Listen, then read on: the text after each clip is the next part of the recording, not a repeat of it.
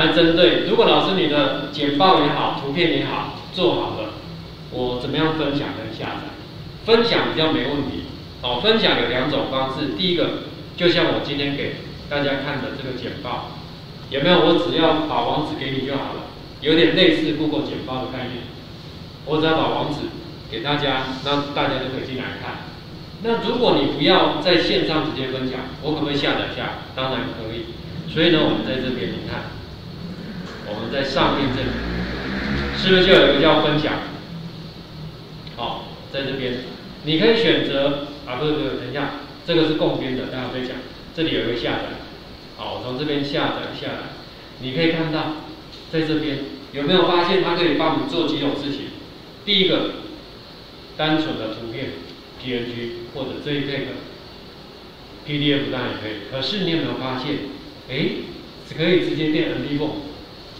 也就是说，我们刚刚有帮影片做了所谓的那个动画以后。它就可以直接变成 MP4 的档案，直接就存下来了。好，这样也可以。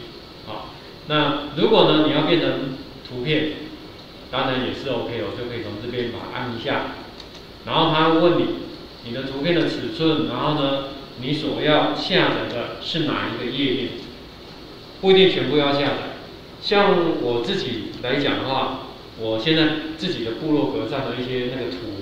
我也会用这个网站来做，所以我就会像您这边所看到的，你看像我在这里有一些我部落格上的图片，在这边，我就用这个这个网站来做，或者我简报的版型的那个图，我用这里来做，这样也可以。哦，所以我们可以像这样就可以把你的简报把它下载下来。那也许有些老师说，那我可不可以变成 PowerPoint 档案？可以呢，在哪里？在右手边，来，你看一下，后面是不是还有点点点？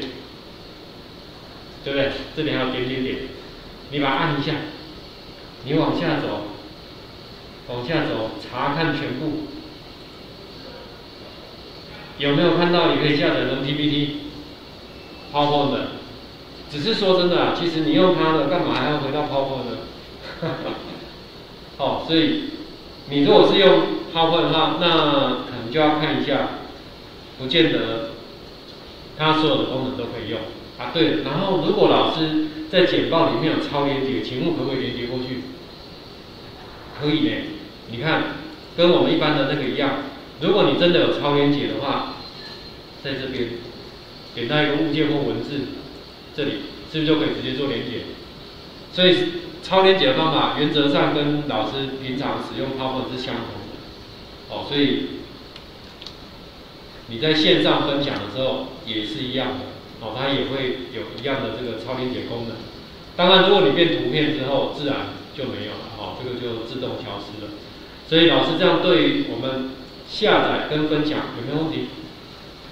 没有，对不对？好，那我们来看哦，后面这里，因为呢，它还有共编的功能，跟我们 Google 简报一样。所以今天如果你分享的时候，像我刚刚在这边分享，我如果只是很单纯的想要给同学看，那我的分享就会变成是只供解释。那今天如果我想要让同学或者是老师，我们可以一起共同编辑这份文件，那我只要给他这个连接，那就跟 Google 简报相同。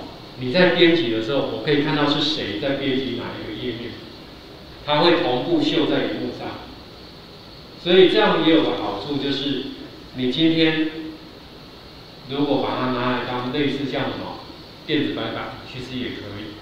谁放了什么东西，在做什么编辑，我们都可以马上看到。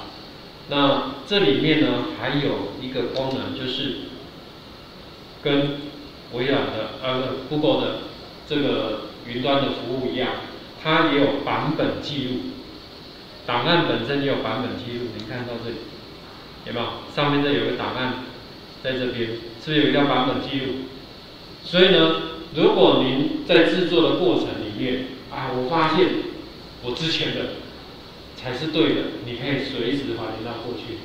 当然，我必须讲，就是它的功能没有像 Google 云端文件那么多，它比较单纯一点，就可以看到哪一天你有改过什么版本，哦，它就没有像那个 Google，我可能还可以做更多事情。所以这个呢，也是它所拥有的这这一部分。那评论的部分也是一样哈，就是我针对这个文件啊，有做任何的这个修正的建议的时候，我们也可以加上评论。这个在 Google 简报、Google 文件里面都有类似的。